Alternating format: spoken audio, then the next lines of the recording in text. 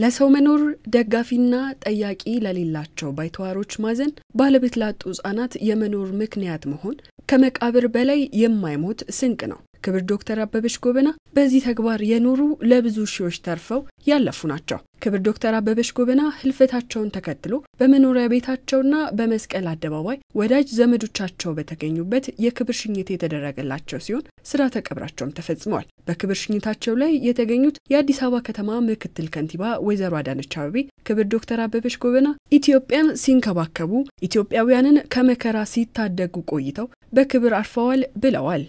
በኢትዮጵያዊቷ ማዘር ትሬዛ ክብርት ዶክተር አበበች ጎበና እዳዬ ባለፉት 41 ዓመታት በመቶ ሺህ የሚቆጠሩ ህጻናትን ተንከባክበው ለቁም ነገር ያበቁ ለብዙ ሺህ እናቶች የስራ ዕድል የፈጠሩ ቀጥታና ቀጥታ ባልሆነ አገልግሎታቸው የሚሊዮኖች እናት መሆን የቻሉ ድንቅ ሰው ናቸው። ክብርት ዶክተር አበበች ጎበና እዳዬ ከእኛ በአካል ቢለዩም የጀግንነትና የመልካምነት ስራቸው ከመቃብር በላይ በመሆኑ ሁሌም ሲወደሱ፣ ሲታወሱ፣ ሲመሰገኑ በልባችንም ሕያው ሆነው ይኖራሉ። ክብር ዶክተር አበበች ለሰው የመኖር ምሳሌ የመቶ ሺዎች እናት ነበሩ። በዚህም የዕድሜያቸውን ግማሽ በበጎ ፈቃደኝነት ለሌሎች አሳልፈዋል። ይህን ተከትሎም በርካቶችን በብዙ መጥቀም ችለዋል። ከቤተሰቦቻቸው የተነሳ ሀሳብ ነበር። ዶክተር አበበች ከቤተሰባችን ውስጥ ሳይማሩ ያስተማሩን፣ ለራሳቸው ሳይኖሩ ለሰው ልጅ የኖሩ መልካም ሰው ነበሩ። ዶክተር አበበች ልጆችን ብቻ በማሳደግ አልተገደቡም። በልማት ስራዎች፣ በትምህርት፣ በጤና ላይ ስራ የሰሩ የልማት አርበኛም ናቸው። እዳዬ የዘመድ አውራ የአገር መኩሪያ በመሆናቸው ሲታወሱ የሚኖሩ እንከን የለሽ የሀገር ሀብት ናቸው።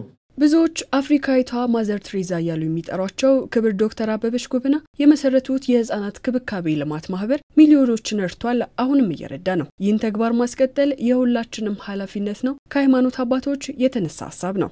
የእሳቸው legacy ምንድን ነው?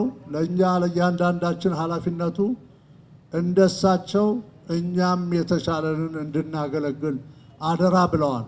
እያንዳንዳችን የተቻለንን ካደረግን የሚያዝኑ የሚቸገሩ የጎዳና ላይ ኢትዮጵያውያን ወገኖቻችን አይኖሩም ማለት ነው። ሰው ሁሉ ከተባለ ሰብአዊ ፍጥረትን ሁሉ ማሰብ ነው።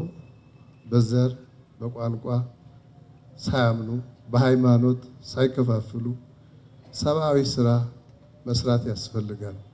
ሀገራችን እንዲህ አይነት ሰዎች ያስፈልጓታል። የሃይማኖት ተቋማትም በዚሁ በሚችሉት ሁሉ መልካም ስራቸው እንዲቀጥሉ ማድረግ ያስፈልጋል። በበጎነት የሚታወሱ እነሱ ሲሞቱ ሲያልፉ ከዚህ ዓለም በሚወዷቸው ሰዎች ልቦና የሚያብቡ በጣም ጥቂት ሰዎች ናቸው። ከነዛ መካከል እናታችን ዶክተር አበበች ጎበና አንዱ ናቸው።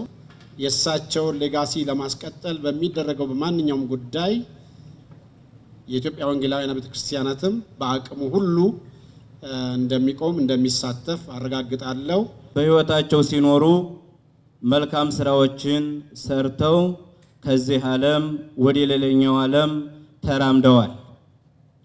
ከእኒህ እናት መማር ያለብን ነገር ቢኖር መልካምነትን ልንማር ይገባናል።